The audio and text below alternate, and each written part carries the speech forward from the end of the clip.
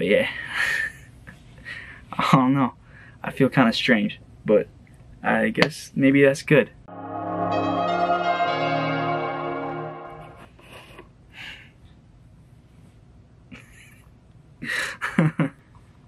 so I just officially booked an Airbnb to Georgia, to Atlanta, Georgia, and I'm going on January 1st, 2021.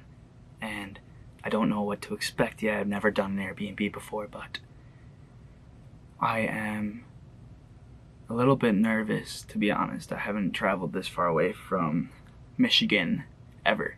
Wait, like on my own. This is the farthest I've ever gone on my own. I've gone to Cleveland, Ohio for work and acting, but I've never gone this far by myself and it's a little bit intimidating but to be honest I'm up for the adventure and I can't wait to see what Atlanta has in store for me.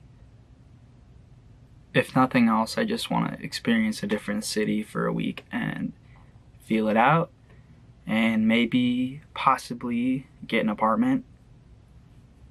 I feel like I've heard good things about Atlanta and their entertainment industry there and that's what I'm interested in doing. If nothing else, I just need a vacation because this year has been very stressful. I had said previously in a video that I was going to go to LA, but after looking into things and feeling out my options, Atlanta is a bit more affordable and has many opportunities. Traveling alone is something I haven't done a lot of, but this will be a new experience and I like new experiences. So in one of the first Star Wars, the guy goes out on his own and it's a big thing. And I feel like this is my big moment where I go off and do my first big thing in my life. I'm 22, I have a college degree, and I'm about to take on the world for the first time. And this is what that moment is, and it feels like this is that moment for me. So, like, I'm excited, but I'm terrified. But I need to do it. Need to go and attack my dreams so I'll be in Michigan for the holidays, but then I'm heading to Atlanta. And uh, I'll see how that goes. I picked January 1st because I felt like it was symbolic. I felt like it captured like a fresh start. I want to start the new year off in a new city. So as for the rest of tonight, I think I'm gonna keep watching Game of Thrones. I just started watching that and it's pretty cool. Now I need to go through all those boxes back there. I hope it goes well. I hope I don't like get there and then there's something weird about the Airbnb and I have to um, like get a hotel or something. I don't know how that works if it doesn't work out. Like what happens if you get there and it's like crazy? Like the person who's hosting it is like one of those people in a horror movie and it's just like terrible and like get attacked by ghosts or something. What do you do if like the Airbnb is like terrible? Like what do you, do you get your money back because it's not like cheap. Like, it's like way more than rent would be in the same area for that place. So, all right, I'm gonna go get a glass of wine and I'll be right back.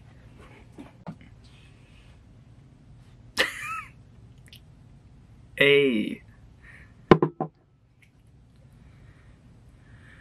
My sister got this wine topper thing that you pop open and it's supposed to make it pour better. So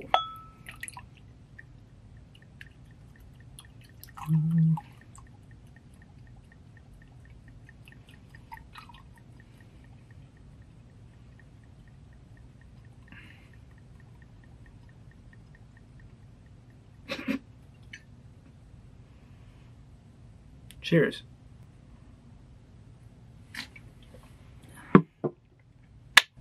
Also have this LaCroix, and I like these a lot too.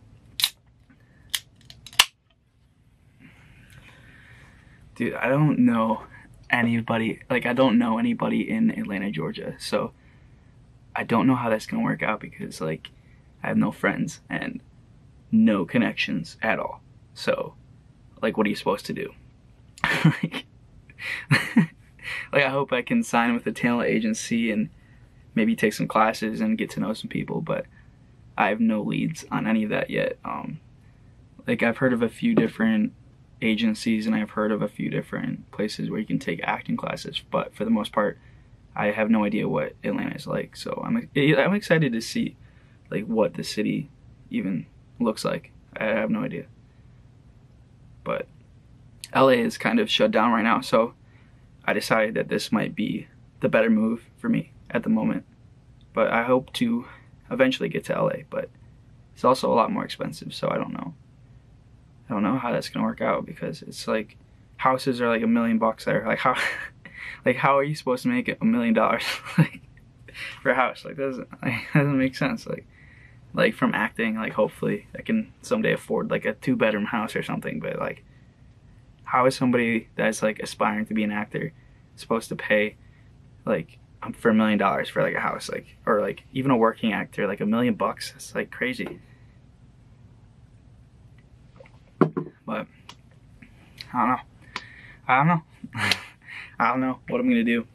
Um, I have a degree, so hopefully that can help. Like hopefully if like things go terribly, I I have my degree, and hopefully like an ad agency would hire me as some type of low level position. I don't know, but oh man, like I really feel like this is like a big moment though, because it's like in the movies when the person like drives off to their destination. Like I'm driving 12 hours to Georgia and I feel like it's like in Adventureland when the main character drives to New York or like in Molly's game when she drives to California. I feel like this is my moment and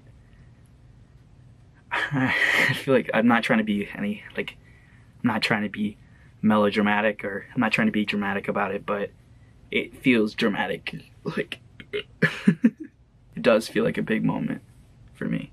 It is. So I get to start the year off with something big.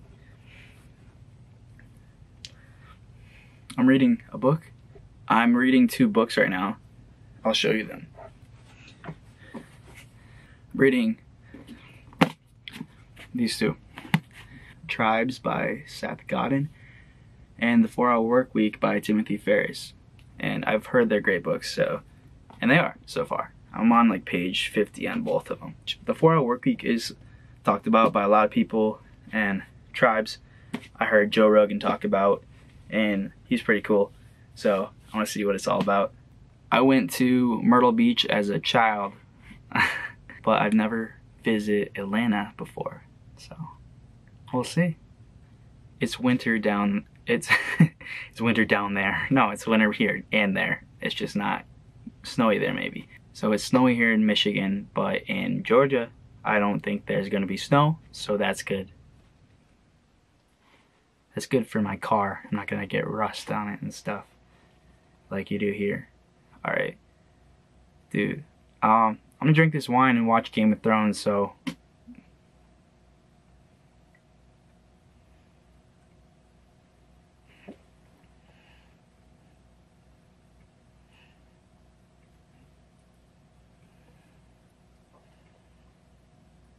that's about it for today. that's about it, so I, I'm gonna go now. Oh, oh, the wine I'm drinking is called, the wine I'm drinking is called Sleeping Bear Red. I'm assuming based on the Sleeping Bear Sand Dunes because it's a Michigan company. My sister and my mom bought like 24 bottles of this wine from this Michigan company and I love it. Wine's pretty cool. I like wine. Who, doesn't like wine? Come on. Everybody likes wine. You, yeah. You're lying if you say you don't like wine. Tastes good. You get a little tipsy. How can you not like it? I mean, for real. How can you not like wine? Red wine? You're telling me you don't like red wine? Come on. It's so good. it's impossible. You know, I think I think I'm really nervous, but like I think the fact that I booked this is like lifting my spirits a little bit because I've been feeling so trapped living in my parents' basement and not doing much, just sleeping in and running a bit and working a little bit. but yeah, I don't know. I feel kind of strange, but I guess maybe that's good. Everything's kind of strange right now. 2020 has been nothing but strange. Alright, that's enough. Enough of you. You look amazing. Don't forget that. I'm not talking about myself. I'm talking about you, the person watching.